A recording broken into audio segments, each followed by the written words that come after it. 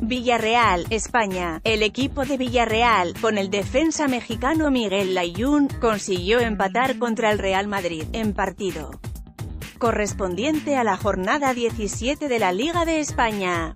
No importa cómo se encuentre Submarino Amarillo, este siempre es capaz de hacerle partido a los merengues en el Estadio de la Cerámica y ayer jueves no fue tampoco la excepción. Fútbol, video, Raúl Jiménez da la victoria al Wolfhampton el experimentado Santi Cazorla puso el 1 a 0 a favor de él.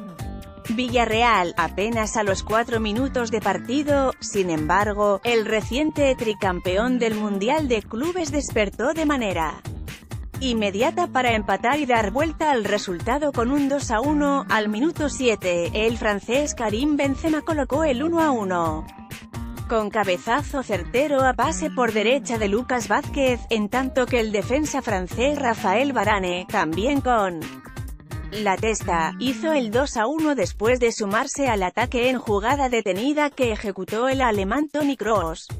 Los madridistas fueron capaces de aguantar la mínima ventaja durante un buen lapso, aunque el sufrimiento siempre estuvo presente en él.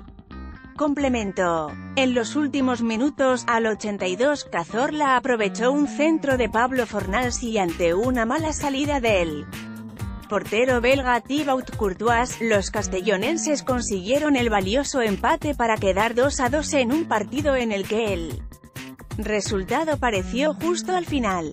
Con la igualada, Villarreal abandonó la zona de descenso en la Liga Española al llegar a 16 unidades, por encima de los últimos tres puestos de la competición, en tanto que el cuadro dirigido por el argentino Santiago Solari llegó a 30 puntos, a 7 por detrás del líder Barcelona.